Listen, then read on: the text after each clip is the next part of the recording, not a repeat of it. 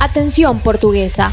Ante la situación de lluvias en la geografía de la entidad llanera, Protección Civil y Administración de Desastres, en conjunto con distintos cuerpos de seguridad, han activado el Sistema Nacional de Gestión de Riesgos para monitorear cualquier hecho de emergencia que se registre en las próximas horas. Asimismo, asumiendo la máxima alerta orientada por el presidente Nicolás Maduro, se mantiene en el despliegue permanente para garantizar la protección y resguardo del pueblo.